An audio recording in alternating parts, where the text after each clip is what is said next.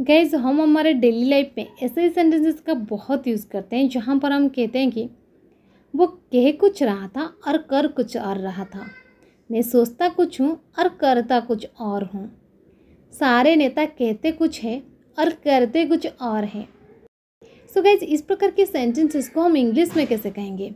इसके लिए कौन से स्ट्रक्चर की यूज़ करेंगे? आज के इस वीडियो में हम सीखने वाले हैं। इस प्रकार के सेंटेंसेस को इंग्लिश में कहने के लिए आपको पहले लिखना पड़ेगा सब्जेक्ट इसके बाद हेल्पिंग वर्ब हेल्पिंग वर्ब के बाद आपको यूज़ कर देनी है मैन वर्ब इसके बाद समथिंग समथिंग के बाद एंड यूज़ करना है, फिर से वर्ब वर्ब के बाद आपको लास्ट में यूज़ करनी है समथिंग एल्स चलिए कुछ एग्ज़ाम्पल के मदद से इसे और भी बेहतर समझने की कोशिश करते हैं।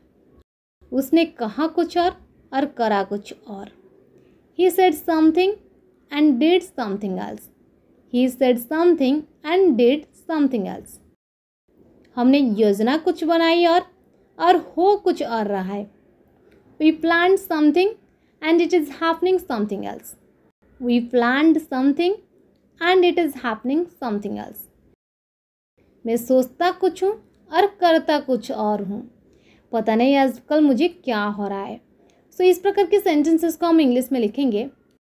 I think something and do something else I think something and do something else वो के कुछ रहा था और कर कुछ और रहा था।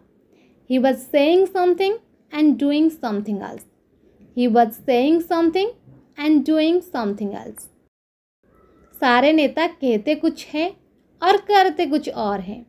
All the leaders say something and do something else all the leaders say something and do something else